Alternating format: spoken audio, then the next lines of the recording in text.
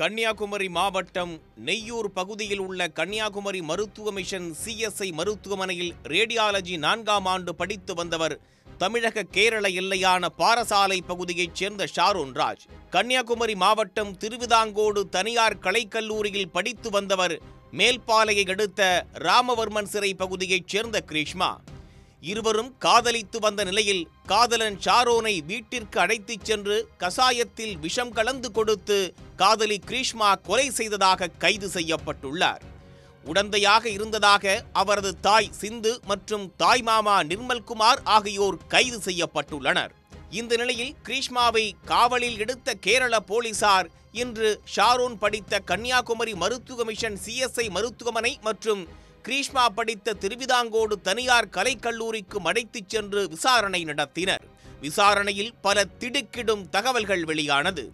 கடந்த இரண்டு மாதத்திற்கு முன்பு ஷாரோன் படிக்கும் நெய்யூரில் உள்ள கன்னியாகுமரி மருத்துவ மிஷன் சிஎஸ்ஐ மருத்துவமனைக்கு சென்ற கிரீஷ்மா அவரை கழிவறை அருகே ஒதுக்குப்புறமான இடத்தில் தனிமையில் இருக்கலாம் என கூறி அழைத்துச் சென்று முதல் முறையாக குளிர்பானத்தில் காய்ச்சலுக்கான மாத்திரைகளை அதிக அளவு கலந்து கொடுத்து கொலை செய்ய முயன்றதாக கூறியுள்ளார்.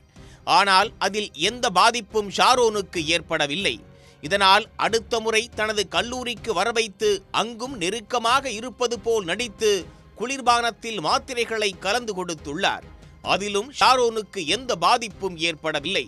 இதனால் திற்பரப்பு அருவிக்கு அழைத்துச் சென்று அங்கும் குளிர்பானத்தில் அளவுக்கு அதிகமாக காய்ச்சலுக்கு பயன்படுத்தும் மாத்திரைகளை கொடுத்து கொலை செய்ய முயற்சித்துள்ளார். அதுவும் பலனளிக்காத நிலையில் திற்பரப்பு அருவியிலிருந்து பத்து கிலோமீட்டர் தொலைவில் உள்ள வசதி படைத்தவர்கள் செல்லக்கூடிய அதிக கட்டணம் உள்ள தனியார் ரிசார்ட்டிற்கு அழைத்துச் சென்றுள்ளார். அங்கு ஷாரோனுடன் நெருக்கமாக இருந்து குளிர்பானத்தில் மாத்திரைகளை கலந்து கொடுத்து கொலை செய்ய முயற்சித்துள்ளார். அவருக்கு ஒன்றுமாகாததால் ஆத்திரமடைந்துள்ளார். இதற்கு மேல் மாத்திரைகளால் கொலை செய்ய முடியாது என கருதியுள்ளார். இந்த மாத்திரைகள் அனைத்தையும் திருவிதாங்கோடு பகுதியில் உள்ள ஒரு மருந்தகத்தில் வாங்கியதாக கிருஷ்மா வாக்குமூலம் அளித்துள்ளார். அதன் பிறகுதான் வீட்டிற்கு அழைத்து வந்து கசாயத்தில் ரப்பர் தோட்டத்திற்கு அடிக்கும் விஷத்தை கலந்து கொடுத்து கொலை செய்ததாக பரபரப்பு வாக்குமூலம் அளித்துள்ளார். ஷாரோனை கொலை செய்ய பயன்படுத்திய விஷ பாட்டில்களை கிரீஷ்மாவின் வீட்டின் பின்புறத்தில் இருந்து ஏற்கனவே போலீசார் கைப்பற்றியுள்ளனர். இதனைத் தொடர்ந்து கிரீஷ்மாவை காதலனுக்கு ஜூஸ் கொடுத்த குழித்துறை பாலம் காதலன் ஷாரோனுடன் மூன்று நாட்கள் அறையெடுத்து தங்கிய ரிசார்ட் உள்ளிட்ட இடங்களுக்கு அழைத்துச் சென்று கேரள போலீசார் விசாரணையில் ஈடுபட்டு வருகின்றனர். എല്ലാ ഇതും നമ്മൾ അവിടെ നിന്ന് കിട്ടേണ്ട എല്ലാ കാര്യങ്ങളും നമ്മൾ തെളിവിലേക്കായിട്ട് എടുത്തിട്ടുണ്ട്. ശാസ്ത്രീയ പരിശോധന കൊടുക്കും.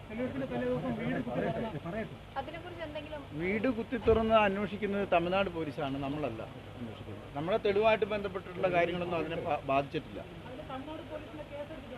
കേസ് രജിസ്റ്റർ ചെയ്തിട്ടുണ്ടല്ലോ.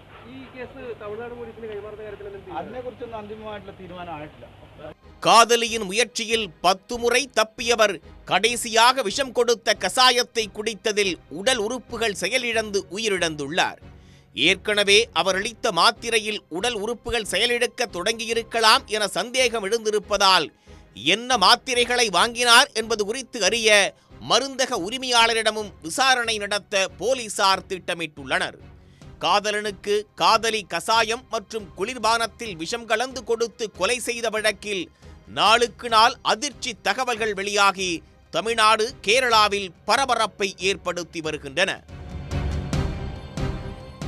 உடனுக்குடன் செய்திகளை தெரிந்து கொள்ள சன் நியூஸ் பெல் கிளிக் பண்ணுங்க.